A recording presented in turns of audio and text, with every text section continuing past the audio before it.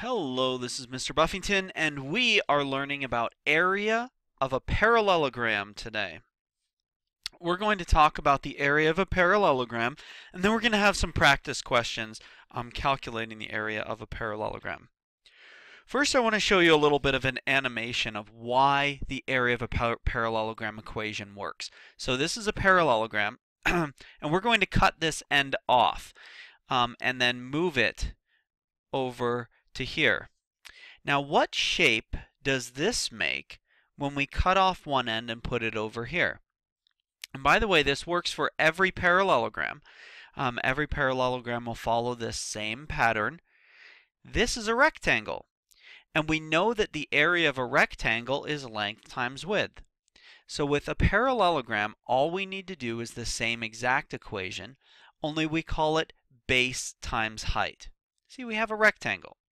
Um, our base is this measurement here, and the height, it, this is important, the height is the perpendicular line that goes from the base to the, the other base. The, the top and bottom are both called bases. Because again, you can flip it over and it doesn't matter. Um, but the height is the, the perpendicular distance between those two. So it's the same as length times width on a rectangle, um, but it is base times height because it's a parallelogram. Other than that, it's the same exact thing.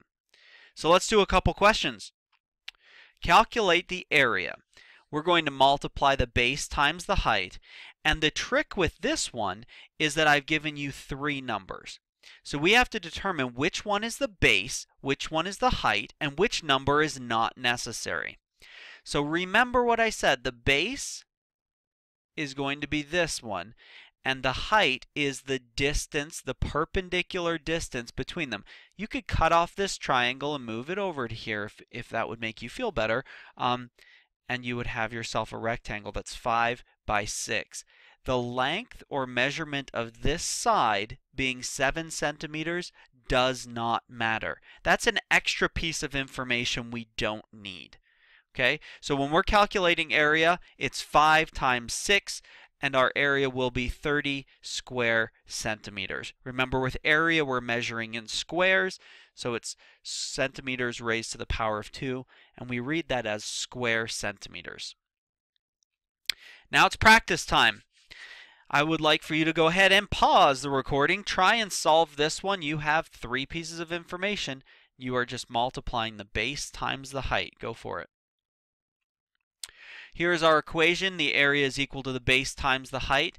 In this case, I put the base on the top just to show you that the base doesn't matter if it's on the top or bottom. It's not base like the bottom.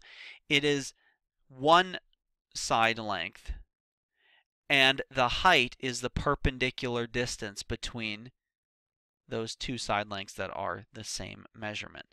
All right, so area is base times height, in this case three, 10 times 3, and that will give us 30 square meters. Next practice question.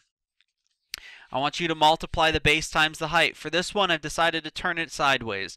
Um, doesn't really change anything, but maybe it'll make it fun. So go ahead and pause the recording, try that one out. All right, are you back?